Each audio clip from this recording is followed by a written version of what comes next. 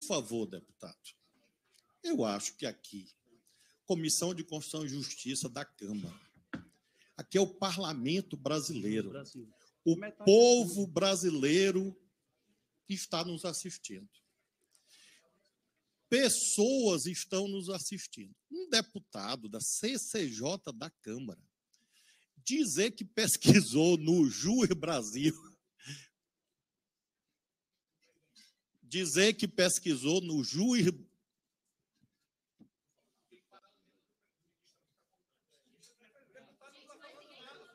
Gente. Dizer que pesquisou no.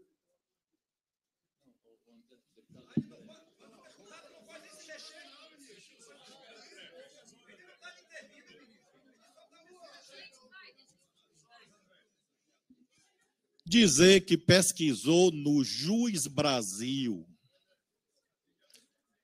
Eu vou contar, olha, eu sou professor de direito, eu vou contar para os meus alunos como anedota como piada. O senhor acaba de entrar no meu livro de memórias. O Juiz Brasil, deputado, quando bota o nome, quando bota o nome, não aparece os nomes de quem responde a processo. Aparece o nome de quem pediu o direito de resposta na justiça. Aparece o nome de quem foi re, é, requerido num pedido de resposta. Aparece o nome de quem registrou a candidatura. Aparece o nome de quem se prestou contas à Justiça Eleitoral. Aparece o nome de quem foi testemunha num processo.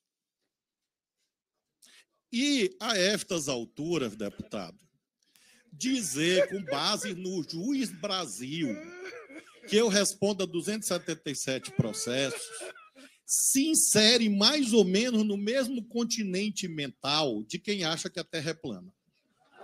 Mais ou menos, mais ou menos. É um piadista. E claro que olhando nos seus olhos, eu vejo que o senhor sabe que a Terra é redonda.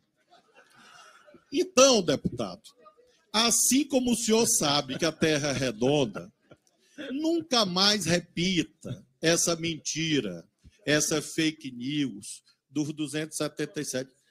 Deputado, eu estou lhe tratando com respeito. Que humilhação. Por favor, me trate com respeito, tá bom?